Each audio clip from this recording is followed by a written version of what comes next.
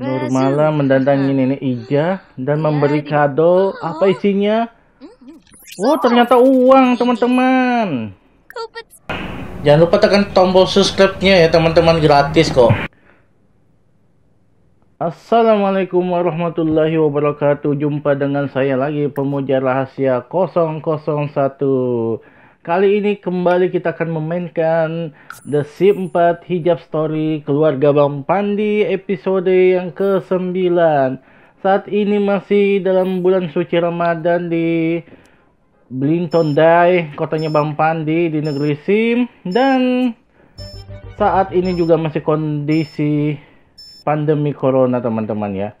Ini Nurmala sepertinya dia mau foto bareng dengan Bang Pandi Bang Pandi sepertinya memberi peralatan kamera baru teman-teman. Kameranya sudah di timer. Biar dia bisa berfoto bareng dengan istrinya yang tercinta teman-teman. Oke ini pose-posenya teman-teman kita ratakan dulu. Oh cantik sekali Nurmala. Bang Pandi kelihatan lebih tua teman-teman. Ya memang dia tua. Oh ini ganti pose lagi.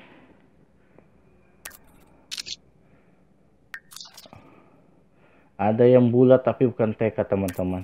Ini susahnya teman-teman ya.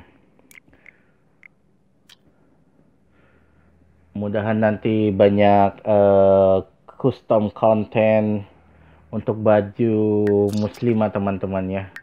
Biar longgar-longgar sedikit baju muslimahnya.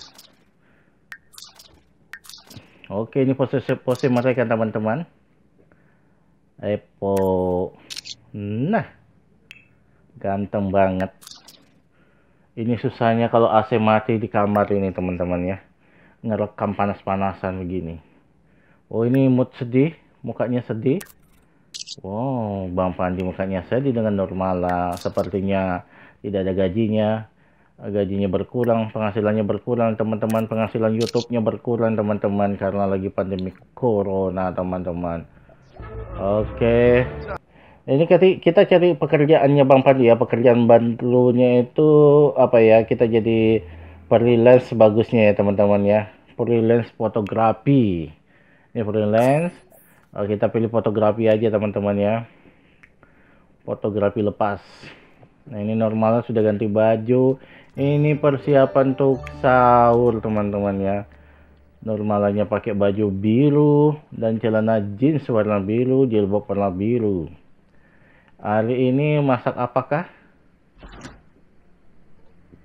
Sepertinya manasin ikan bakar yang kemarin ini. Oh iya masak ikan bakar lagi kelihatannya. Eh goreng ikan bakar. Eh goreng ikan bakar.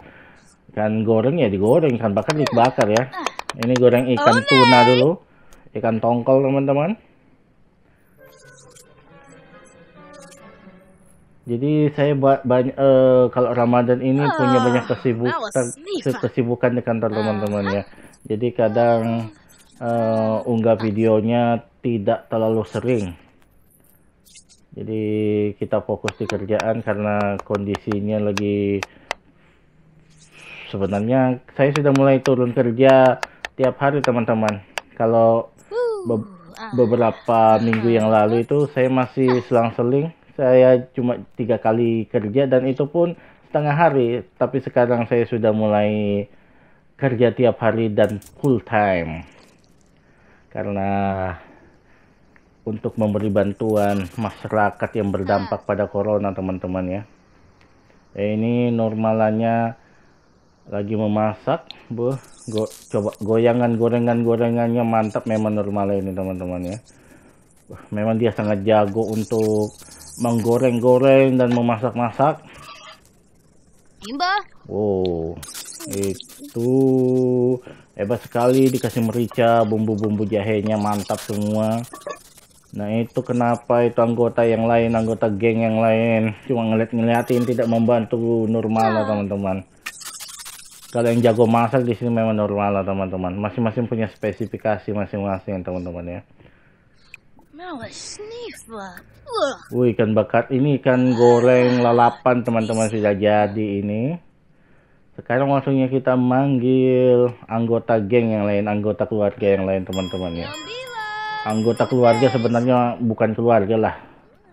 Mereka cuma tinggal di rumah Bang Pandi ini teman-teman dan tidak bisa pulang kampung karena dilarang pulang kampung sama pemerintah The Sim. Jadi pintu gerbang kota ditutup, pelabuhan ditutup, dan penerbangan ditutup. Menteri berhubungan yang mengeluarkan supaya kegiatan ini supaya pulang kampung dilarang teman-teman ya. Jadi konsisten Menteri Perhubungan dari Desim 4 ini yang boleh itu logistik dan orang-orang yang punya kepentingan dan tugas khusus yang bisa keluar daerah teman-teman. Kalau pulang kampung atau mudik, saya rasa pulang kampung dan mudik itu hampir sama saja teman-teman ya. Cuma mungkin maknanya sedikit berbeda. Nah ini mereka makan Sepertinya loh itu si Regina jauh sekali apa sepertinya dia lagi musuhan dengan anggota geng yang lain teman-teman anggota keluarga yang lain. Ini si siapa? Madalena. Kepingin makan hamburger katanya dengan pizza. Tapi masalahnya ini lagi susah keluar teman-teman ya. Oh ini mereka lagi gosipin si youtuber prank yang ngasih banci anu bencong sampah ya makanan sampah ya teman-teman. Siapa namanya? Ferdinand Paleka kah? Siapakah? Itu yang sekarang sudah ditangkap. Dan ternyata nangis-nangis dia juga teman-teman ya. Itu susahnya lagi kondisi susah ini masa ngepranknya pakai makanan sampah. Coba ngeprank itu kayak Bang Amir kan yang ngasih uang eh ngasih tepung satu kilo ternyata dalamnya 3 juta teman-teman. Eh, ini Bang Pandi datangi istrinya normal lah dikasih hadiah. apa itu hadiahnya teman-teman? Oh apa itu? Oh ternyata uang banyak sekali teman-teman. Oh itu ternyata untuk sedekah untuk bantu nenek Ija tetangga sebelah teman-teman ya karena dia seorang diri anak-anaknya dan cucunya tidak bisa pulang kampung teman-teman ya jadi tinggal sendirian dia. Anaknya tidak bisa pulang kampung. Karena ada larangan untuk pulang kampung. Ini ikan gorengnya sudah dibungkus, dipak sama si Nurmalam. Masukin juga ikannya ini. Oke, sudah masuk. Oh iya, kita ganti baju dulu. Ini kucing saya mengeong-ngeong. Eh, kamu tidak mengeong kan? Saya punya kucing Mancon ini tidak mengeong dia kayak anak bayi suaranya teman-teman. Ini sudah ganti baju pakai masker. Jadi kucing dalam sini namanya Bima, kucing asli saya juga namanya Bima ya teman-teman. Nah ini kita mau petik buah-buahan dulu untuk nenek Ija si normalannya mau metik buah-buahannya teman-teman ya. Ini buah mangga dipetik dulu. Habis itu kita metik buah plum. Ini buah plum kalau saya juga tidak pernah ketemu buah plum di dunia nyata teman-teman. Tapi teman youtuber Taiwan saya pernah memperlihatkan buah, uh, buah plum teman-teman di videonya ya. Ini kita untuk jeruk jeruk. Kita petik jeruk dulu normalnya petik jeruk teman-teman ya. Ini Bang Pandi ini seorang youtuber kaya raya teman-teman ya. Cuma dia low profile teman-teman ya low profile nah ini ke rumah nenek Ijat tetangga sebelah normalnya. Jadi cukup jalan kaki aja teman-teman yang lari-lari kecil sampai sudah. Ini di belakang rumah Bang Pandi teman-teman ya. Nah tuh. Itu ada kelihatan rumahnya. Nah itu kelihatan rumahnya Nek Ija ini gubuknya Nek Ija ya teman-teman ya. Bertetangga aja dia di belakang rumah aja. Nah ini normal lah sudah ada di depannya uh, rumah Nenek Ija. Dengan perasaan loyo dia masuk ke iya ini papan-papannya teman. Kelihatan tua betul teman-teman ya. Rumahnya dindingnya dari gubuk jerami ya apa keanyaman kelapa kah itu Oh kosong kelihatannya kosong ini di lantai bawahnya teman-teman ranjangnya aja lusuh teman-teman ya tidak ada perhiasan-perhiasan teman-teman ya Oh naik normalnya naik ke atas dan ternyata nenek Ija ada di atas. Nah, sangat kurus sekali nenek Ija, teman-teman. Nah, si Normala goyang-goyang pinggulnya ya, lucu. Nggak tahu gampain dia apa ngejek nenek Ija, tapi sepertinya tidak itu bercanda aja teman-teman ya. Untuk menyenangkan nenek Ija. Oh, mau minta makanan. Nah, ini burger. Kelaparan teman-teman. Nek Ijanya kelaparan kasihan. Oh, si Nurmalanya kelihatan agak marah, tidak sabaran teman-teman. Temperamental Nurmala. Dikasih hadiah. Ini sepertinya ikan bakarnya tadi. Oh, ini uang teman-teman dari Bang Pandi tadi. Oh, terima kasih ya. Nah, ini sekarang nyiapkan normalnya nyiapkan uh, makanan buah-buahan teman-teman ya. Itu kenapa sih Nurmala itu begitu matanya sini sekali. Pakai masker dia sini sekali ya. Itu Neija kenapa nggak pakai masker ya? Karena dia lagi susah teman-teman yang tidak ada maskernya. Kamu normalnya yang kasih masker dong. Aduh gimana sih normalnya ini nah ini siapkan makan dulu. Ini ikan bakarnya yang sudah dibungkus. Kita siapkan buah-buahan. Buah pepaya. Nah. Nah banyak buah pepayanya teman-teman. Ini mangganya. Jangan dimakan normal lah nanti batal puasamu. Mangganya lagi oke mana mangganya? Aduh. Oh bikin kue aja dulu. Bisa laka betul ini. Jeruk dengan mangganya ada masih ada sama si Nurmala diambilnya. Nggak dikasihnya nenek Ija. Oh dia mau bikinkan kue tar ya teman-teman ya untuk buka puasa. Ini Nur Malam. Saking sukanya masak tidak izin dia masak teman-teman ya. Langsung aja masak. Oh, wow marah-marah nenek Ija. Kenapa kamu masak sembarangan? Ini dapurku ini. Oh, ternyata mau harusnya dikasih sedekah lagi nih uh, Nek Ijanya teman-teman biar senang ya. Dikasih sedekah lagi. Oke, okay, sedekahnya. Ya, Berapa banyak ini sedekahnya? Oh, seribu, sepuluh ribu juta uh, rupiah desim teman-teman yang banyak uangnya ini. Dia tinggal minta sama Bang Pandi aja, Bang Pandi banyak uangnya teman-teman ya. Dikasih lagi kah? Oh, 500 rupiah the sim nih teman-teman ya. Itu sekitar berapa itu ya? 500 ribuan mungkin ya. Oh senang jadi sudah nenek ijanya ketawa-ketawa teman-teman. Senang banget sudah ketawa-ketawa ini. Aduh si normalanya pulang. Keluar dari rumahnya Nenek Ija. Aduh capek kelihatannya. Iya ada pelangi di sana teman-teman. Dari rumahnya arah rumah Bang Pandi ini bukan ini di pelabuhan itu ada pelangi teman-teman ya. Rumahnya si Bang Toyib itu dari arah rumahnya rumahnya Bang Toyib teman-teman ini sampai di belakang rumahnya Bang Pandi nah ini rumah ini tempat apa rumah kacanya Bang Pandi teman-teman. Kandang sapinya.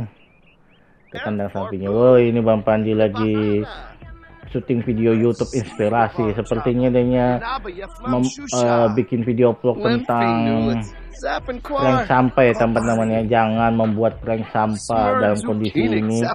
Prank-prank yang bisa menyakiti hati orang tapi seperti ah. prank memberi makanan ternyata itu isinya makanan sampah atau isinya cuma bata teman-teman ya. Itu si sifat Madepi ganti baju teman-teman. Oh dia menyanyi-nyanyi di belakang Bang Pandi teman-teman. Waduh, masuk shootingan Fatma itu. Nah ini sementara di sebelahnya lagi. Nah, ini kita langsung jangan bikin prank.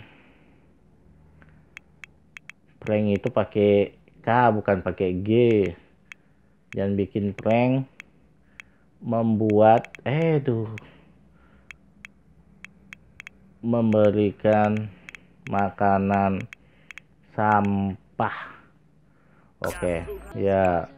Kita tinggal edit videonya teman-teman ya baru kita unggah. Kita edit sedikit biar uh, bagus kelihatannya teman-teman ya. Ya Bang Panding edit dulu. Ini suka kedengaran musik loh teman-teman ya. Saya nggak tahu dari mana musiknya ini. Apa ada radio kita yang atau peralatan musik kita yang bunyi tapi tidak ketahuan tidak kedengaran ini sudah kita edit videonya. Oke sudah. Langsung kita unggah aja teman-teman ya.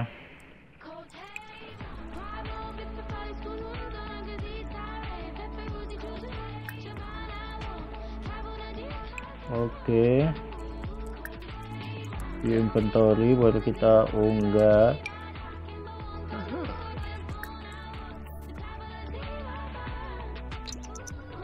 Kita kecepatin nih ya cepatin aja dulu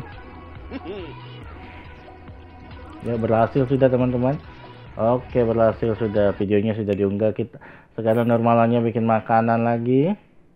Ini waktunya berbuka puasa teman-teman. Normal lagi males masak jadi dia bikin kue brownies kelihatannya ini teman-teman. Ini bikin mau coba resep kue brownies. Oh ya teman-teman jangan lupa subscribe teman uh, teman subscribe channelnya like share and comment teman-teman bagikan videonya ke sosial media kalian teman-teman Oh ini masih digoyang-goyang. Wah, bercanda dia bikin browniesnya teman-teman. Bercanda banget sih normalnya bikin. Oh di, waduh batal puasanya kamu jilat-jilat kuenya normal lah normal lah. Resep makanan dimanfaatkan betul jilat-jilat resep makanan browniesnya teman-teman ya. Ini perasaan telur mata sapi ini tiga ini sudah tiga tahun di sini tidak pernah diberesin sama normalnya. Ini kecap. Ini bukan botol whisky ya itu ya. Di samping itu itu kecap saus tomat dan lainnya teman-teman cuka juga. Ini merica ada pisau.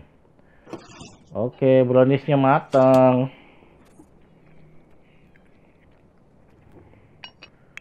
waktunya buka puasa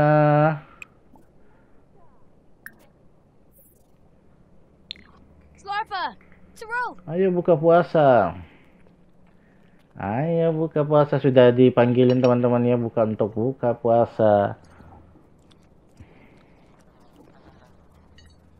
Wah turunan pasukannya. Uh ada Bima lagi di situ.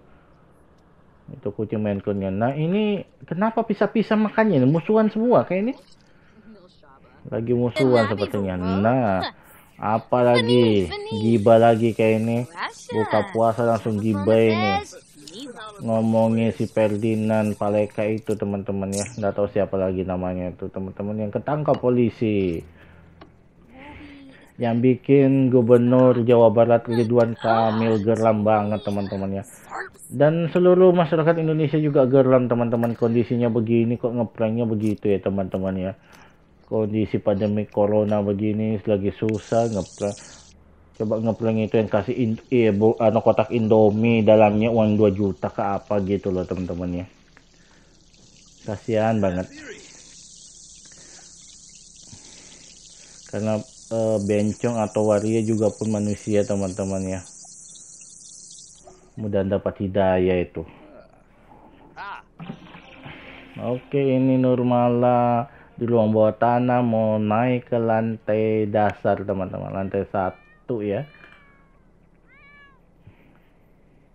Ini berantakan dia mau ngepel teman-teman Oke cukup sekian dari saya teman-teman. Jangan lupa subscribe channelnya like share videonya ke sosial media kalian loncengnya jangan juga jangan lupa juga ditekan teman-teman ya. Assalamualaikum warahmatullahi wabarakatuh